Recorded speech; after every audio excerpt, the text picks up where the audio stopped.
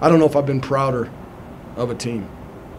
Uh, not a great record, but to start off one and five, I think, is what we started off in conference play, and to fight back to ten and ten and, and finishing fourth is is a big time, big time accomplishment for these kids. I mean, uh, the way we started, it, w- it wasn't how we wanted, but uh, I'm very pleased. I think everybody's very pleased with where we finished.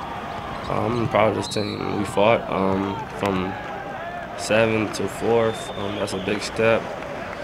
Um, we just every day in practice, we just um, practice hard and like bust our tail every game.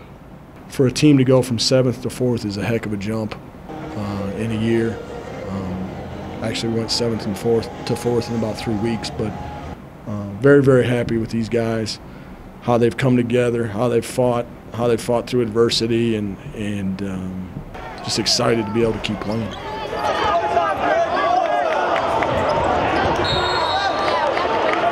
I think the biggest difference in us, five of the last six games, has been Connor Osborne.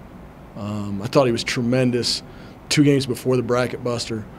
Um, bracket buster game, I didn't think he played very well, and I lit him up, and he's responded tremendously. Uh, his energy has been second to none. He's been, to me, his energy has been the difference. Um, yeah, he's a big guy. I mean, I don't think nobody can stop him in the paint because of his size.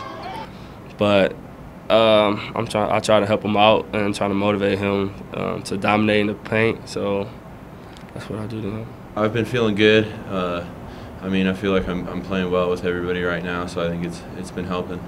His energy and and, and Tevin Svihovec uh, committing to the def- defensive end of the floor and, and being an all-around floor general uh, has been has I think have been the two biggest things, and that's that's awful because you feel like you're slighting two guys that are, in my opinion, all conference guys, and Derrick and and, and Tate.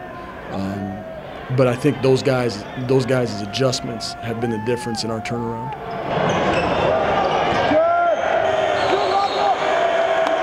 I don't think it was my best game. I think my best game was against Eastern Washington at their place. I had 28 and 14, I think.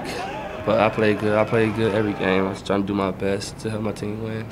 He's made so much progress from the neck up from the beginning of the year. You know, the beginning of the year, he wasn't as mentally tough as he needed to be, uh, and he's made huge strides in that in that department. And he'll be the first one to to admit it. And that's why he keeps getting better, because he's willing to acknowledge or admit when he's when he's not strong in an area, and that's why he just keeps getting better and better. In my opinion, he's uh, there's I don't know if he's the best player in the league, but there's not too many guys better than that dude.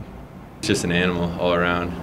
So uh, he always helps. I mean, rebounding, scoring. He's he's always in on everything.